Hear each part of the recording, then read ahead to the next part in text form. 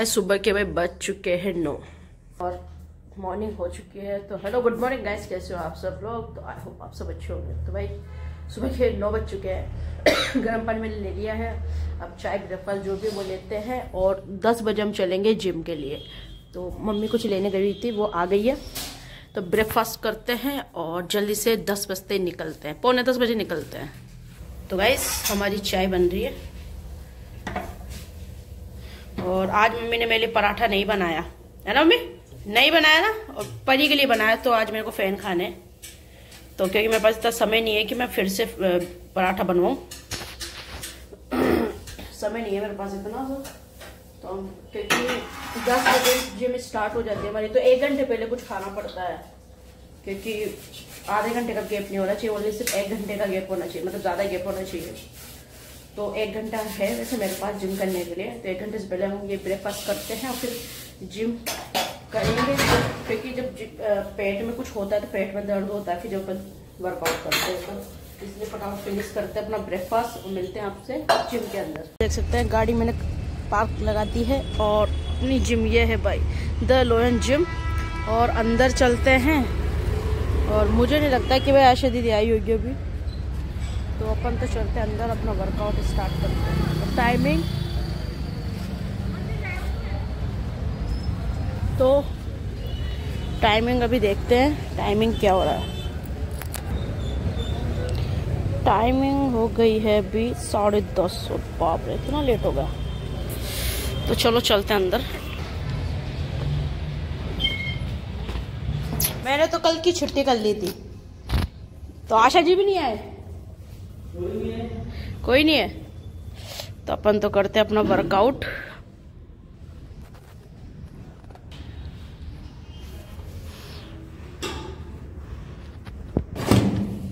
हो गया ना? टाइट कर लेना इसको। टाइट कर दो आप। तो ये सफ़ाई करते हैं क्या ये? हम्म? ऊपर करना पड़ेगा। टाइट नहीं होगा। कोई नहीं है ऊपर करो ना इसको टाइट ठीक कोई दिक्कत नहीं नीचे ठीक है भैया। तो वैसे आप देख सकते हैं, गुंजन मैम आ चुकी है और मैम बहुत लेट आई हैं। ये देखिए, दस चालीस पे।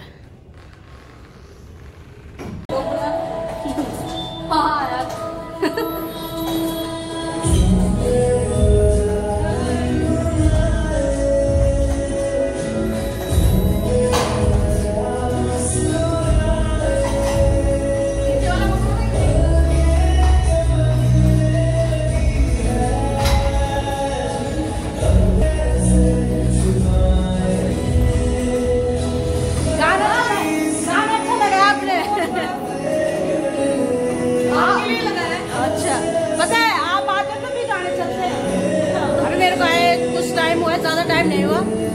बट मेरे तो मेरा हेडफोन लगा के गाने सुने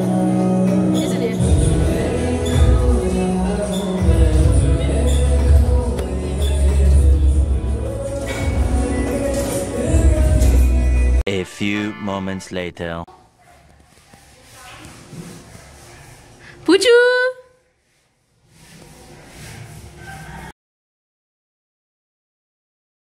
कार्तिक के लिए मैंने ले लिया है बलून और कार्तिक अभी आने वाला है। कार्तिक, देखो। जाल में। क्या है ये? बलून। इधर देखो, इधर। इधर इधर। अरे वाह, आराम से आना। कार्तिक को लेते हैं इधर से। साइड में से आओ साइड में से। अरे आ गया? सॉक्स तो खोल दे बेटा। ओ मेरे बेटे ओ मेरे लाल देख देखना देखना देखना देखना देखना देख क्या? खेलोगे ना? खेलोगे ना? रुको रुको आराम से गिर मत जाना यार देखो। इधर देखो पहले इधर देखो। हेलो कर दो पहले पहले सबको हेलो करो। हेलो गाइस अरे मेरा बच्चा इधर इधर देख एक बार एक बार इधर देख। अरे बोलो चाचू आई लव यू चाचू। आई लव यू तो इसको बलून मैंने लगा दिया था इधर इसको दिखाने के लिए। तब ये नीचे आ चुका है। मेरा बच्चा। खेलो। इधर देखो। इधर देखो। इधर देखो। इधर देखो। कहाँ गए बलून कहाँ गए बलून स्कूल से जाके आ गए क्या खा रहे हो? पापड़। तो गाइज़ मैंने इसको पापड़ सेक के दिया है और ये मेरे से जल गया। देखो यहाँ धुआँ निकल रही है रुको। थोड़ा ठंडा होने दो ना। खा लेता हूँ बेटा। खा लो। मैं भी खा लेता हूँ ना। तो अभी समय हो गया है भाई सवा एक का। सवा एक हो चुका है और सब्ज़ी हमारी बनने वाली है और खाना खाएँगे। मम्मी रोटियाँ बना रही है है ना? खिला दो। खा लिए सब लोग। तो मम्मी बना रही है रोटियाँ और सब्ज़ी मेरी बनने वाली है तो हम लोग लंच करेंगे। मुझे बहुत ही ज़ोर से भूख लग रही है। देख देख, हाथ में लग रही है, फिर भी तेरे को समझ भी नहीं आ रहा बेटा। देख देख, इधर आ इधर आ इधर आ। क्या देख रहा है तू? हाँ? देख इधर। कार्तिक। वो चला गया नीचे यार। इधर इधर से घुसा और इधर से निकला कदुआ में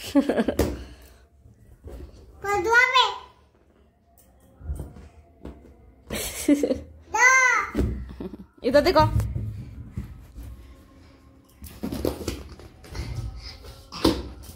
अरे वाह।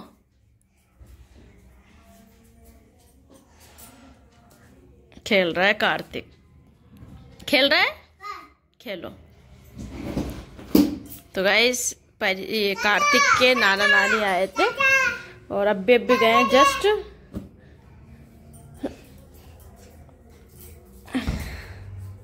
देख देख, लग जाएगी। आप देख सकते हैं, दीदी आ चुकी है और मम्मी भी आ गई। तो हम लोग अब खाना खा रहे हैं और अब इस समय देख सकते हैं, पौने नौ गए। मतलब नौ बजने वाले हैं। नौ बजने वाले हैं और हम लोग खाने में क्या ले रहे हैं वो दिखाते हैं आपको। खाने में खिचड़ी है, दही है और सलाद में प्याज है और ये मैंने दोपहर में सब्ज़ी बनाई थी, वो है और उधर भी है। उधर पुलाव है। पुलाव है मतलब नॉन वेज है उधर। दीदी भी लेके आई है खाना। और परी तबीयत कैसी है? ठीक है ना? बेटा, मेरा बेटा रो रहा।